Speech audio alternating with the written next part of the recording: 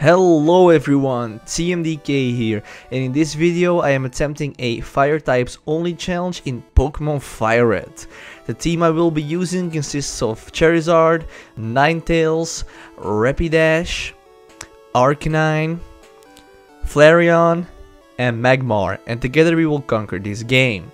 The rules are simple, no items allowed in battle, outside of battle we can, HM Lats can be used, these are Pokemon that can learn a lot of HM moves and will only be used for that purpose, no glitches, hacks and cheats that can help me win the game, but I did have to cheat some Pokemon in, Vulpix and Magmar because they're Leaf Green exclusives, and Ponyta because you can only get Ponyta after the 7th gym and I wanted to get him a little bit earlier so we can have more playtime with them and yeah, have more playtime in general with the full team.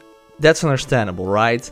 Let's go. We skip the intro and get to choose our name, TMDK of course. For our rival's name we choose the name Gary like in the animated series. We spawn in our house and our adventure begins. Professor Oak takes us to his lab and we get to choose our first Pokemon, Charmander of course, because it's a fire type challenge. We give it the nickname Charlie, a very nice name in my opinion. Gary takes Squirtle of course and he wants to battle immediately. Squirtle is too busy using Tail Whip that he doesn't notice we're taking him out with Scratch. Squirtle goes down, if Gary is defeated and we leave the lab. Straight to Brock and his rock type Pokemon. At level 14 we already know the move Metal Claw which is super effective but because it's no stab move, it doesn't do that much damage. We get taken out by Onix and Rock Tomb a couple of times, but we win eventually and Brock goes down. His first Geodude isn't that hard, he's too busy using Defense Curl, we take him out with Metal Claw. Onix is his next Pokemon and for some reason he's only using Bind, which gives us the opportunity to take him out with Metal Claw. I don't know why, but we did it guys. Brock is defeated, Boulder Badge is ours. We catch our second Pokemon, Vulpix, and we give her the nickname Chloe. She's going to become a Ninetales and a crucial Pokemon in our team. We defeat some Team Rocket members in Mount Moon, they're not that strong, so we take them out quite easily. When we get out of the cave and enter Cerulean City, we come across Gary and his Squirtle. His Squirtle with his water gun takes me out, maybe a few times, but not that much. And yeah, we're taking we're taking him out not long after.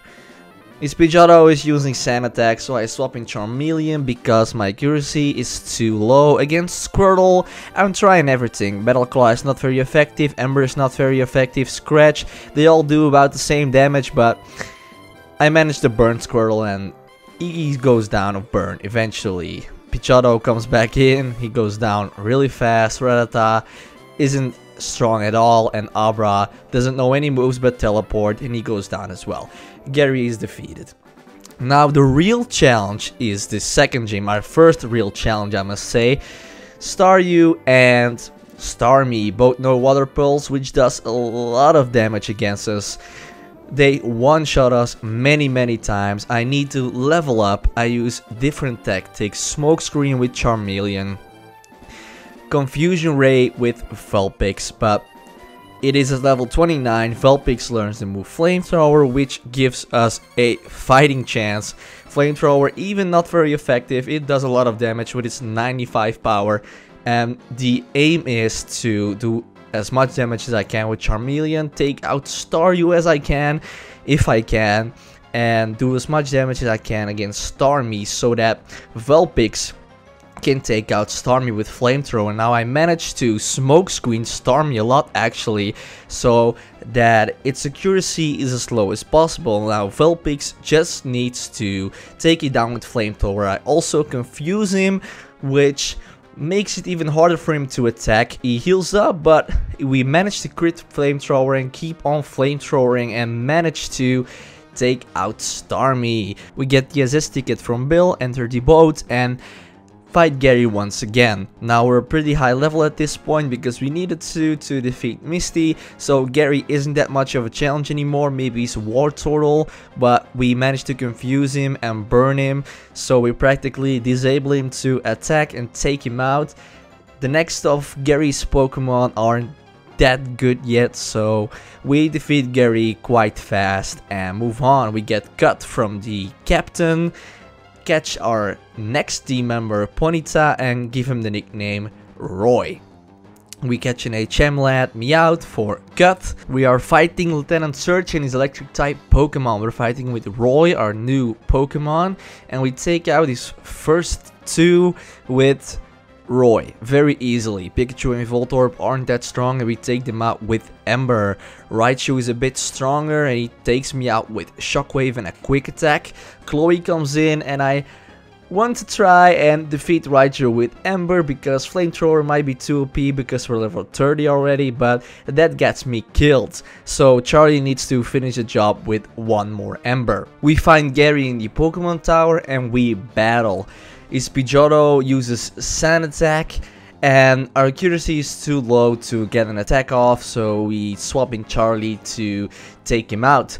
Wartortle is a tougher opponent, we use Smoke Screen so that is Water Gun maybe miss a couple of times but we still get taken out by it. Chloe comes in and he finishes Wartortle with Flamethrower. Now the last Pokemons of Gary aren't that strong. Growlithe goes down easily with Stomp. Exeggcute is uh, weak against fire type moves and Kadabra goes down with a crit from Ember. Gary is defeated. We catch our fourth team member, a Growlithe, and give it the nickname Gizmo. We enter the fourth gym to fight Erika and her grass type Pokemon.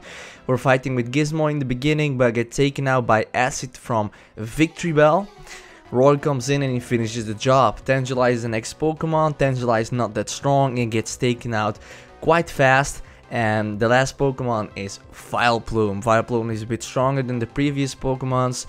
She gets burns, but Erika uses a full heal. We get Trapper with Fire Spin and take her out slowly with Ember. We get our 15 member Eevee and give it the nickname Pyro. We buy a few Firestones from the Pokemon Market in Celadon City and evolve a few of our Pokemon. Chloe into Ninetales because it's been on our team for quite some time. We evolve Eevee into Flareon because we can only use Fire type Pokemon and I decide to not evolve Gizmo into Arcanine because it has been just added to our team and we need to play a little bit more with him. We battle Giovanni in the end of the Team Rocket hideout and I'm fighting with Gizmo and we take out his Onix and Rhyhorn quite easily with the move Bite. This next Pokemon is a Kangaskhan which is a tougher opponent and I don't do any damage against him with Ember from Gizmo.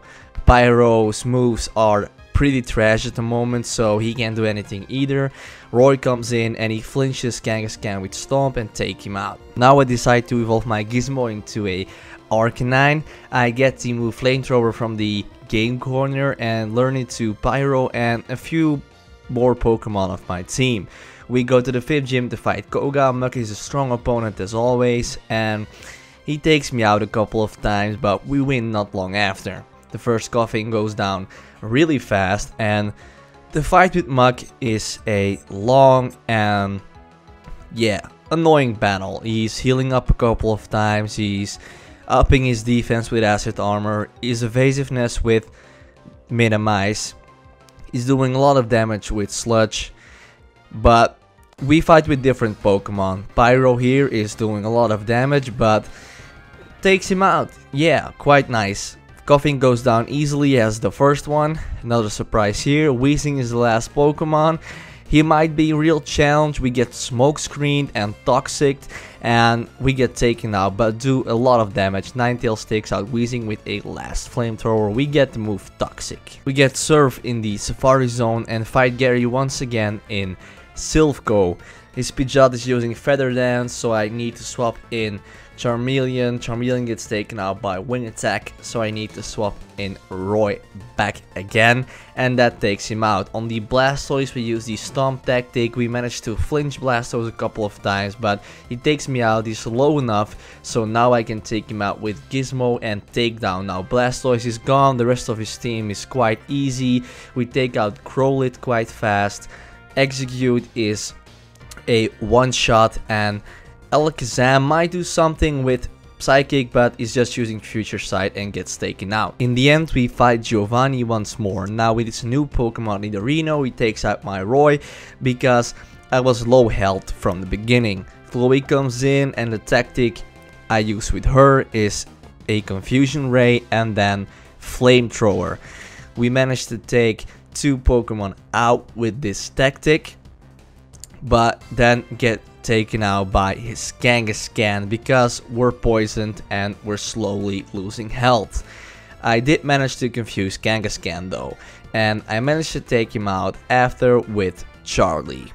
Nidoqueen is his last Pokemon, Charlie gets taken out, and you see Flamethrower is the spammable move and Nidoqueen goes down.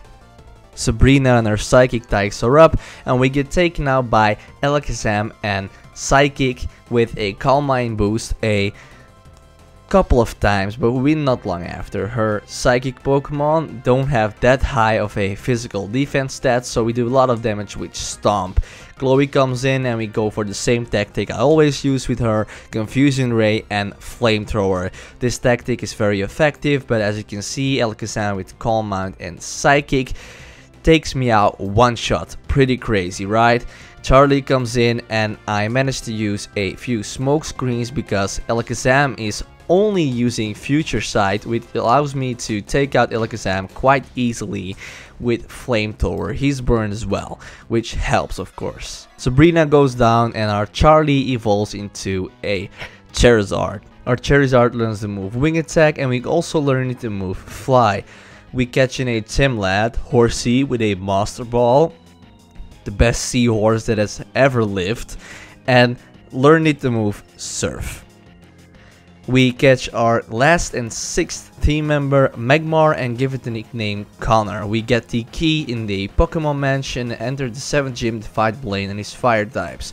Fire against fire. This should be interesting. We use Sunny Day to up our fire moves, but get taken out by Growlithe. I use Roy with the OG Stomp tactic, which we always use. Chloe comes in and we take out Ponyta with Flamethrower. We go for the tactic Confusion Ray Flamethrower. It's the best thing we can do at this point and Rapidash tanks these flamethrowers of course, it's not very effective. She heals up a couple of times with hyper potions from Blaine, but it's a long battle but we can take her out eventually. Arcanine is the toughest Pokemon of Blaine.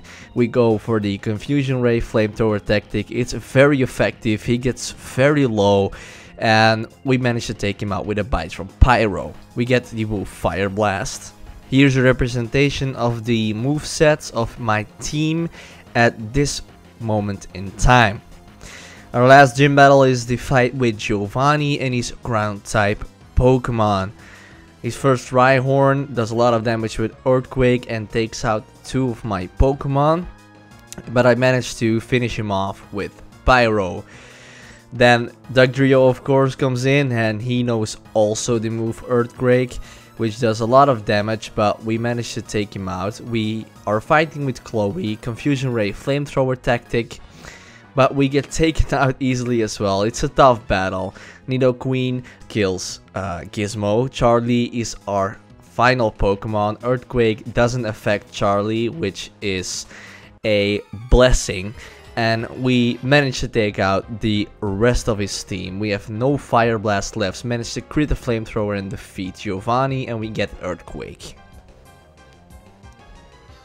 We must fight Gary one more time before we can enter the league. His Blastoise as always is a pain in the ass and does a lot of damage with his water type moves and he takes me out many many times. I need to level my Pokemon, evolve some of my Pokemon and then we're able to defeat Gary but it's not easy let me tell you. I managed to get Sunny Day off with Magmar and then Chloe comes in to use Confusion Ray and Flamethrower which does a lot of damage and I'm able to take out the first two of Gary's Pokemon. Blastoise, I managed to burn him at least, but then get taken out. Now, I use a few Pokemon to do damage on Blastoise, Roy and Pyro, and I get him as low as I can and when I swap in Charlie he faints off burn.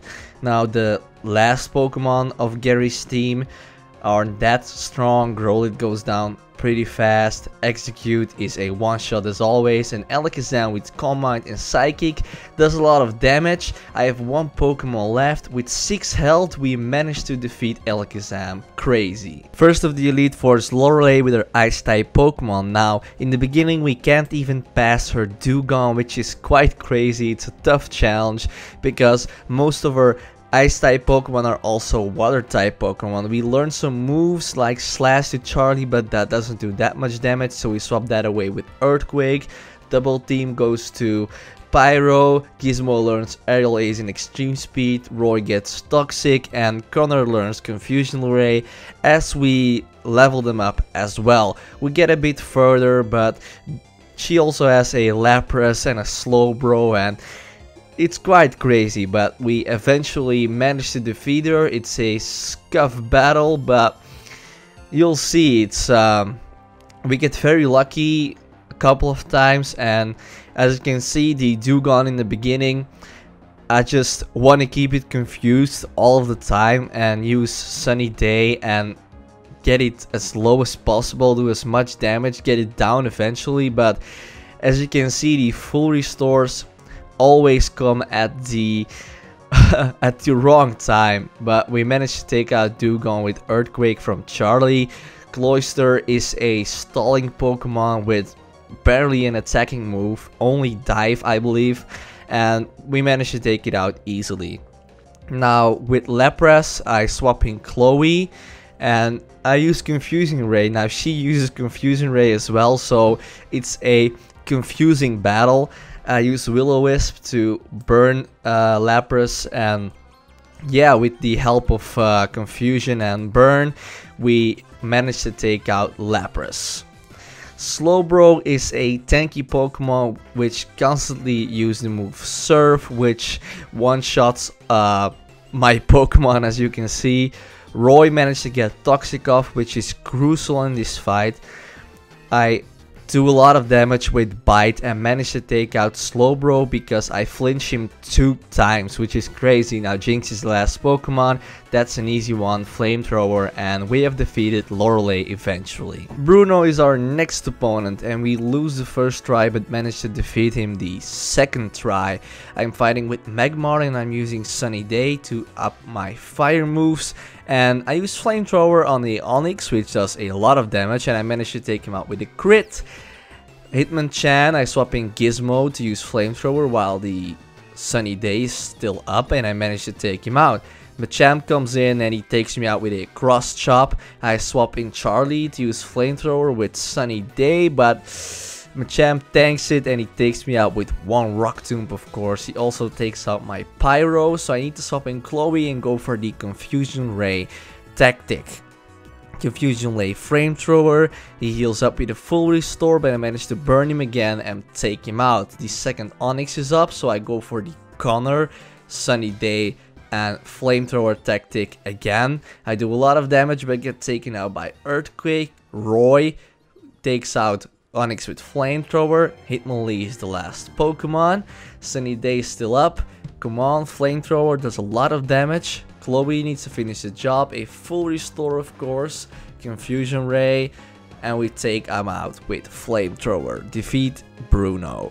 The next opponent is Agatha and their Ghost type Pokemon, and we managed to take her out first try. We're lucky in this run because we have special attackers and we can actually do something against their ghost type Pokemon so we don't struggle this time like in my previous challenges. The Gengars are still annoying though with their Confusion Ray, my Connor and Pyro gets taken out easily because we can't even get an attack off Roy needs to finish the job with a flamethrower. The Golbat goes down quite easily with flamethrower. It's a flamethrower battle actually.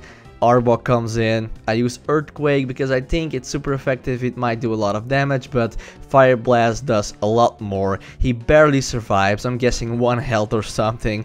I gotta use a full restore, of course, but we take him out eventually with Flamethrower.